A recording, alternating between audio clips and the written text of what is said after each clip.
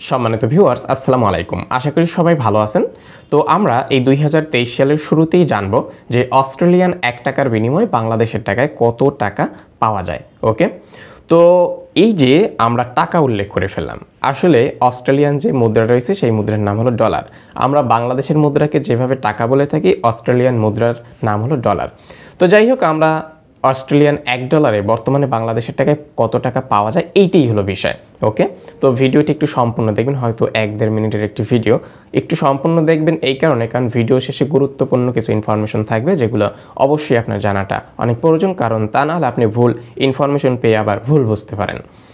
তো বর্তমান দুই হাজার তেইশ সালে অস্ট্রেলিয়ান এক ডলারের বিনিময়ে বাংলাদেশের টাকায় পাওয়া যায় বাহাত্তর টাকা বাইশ পয়সা।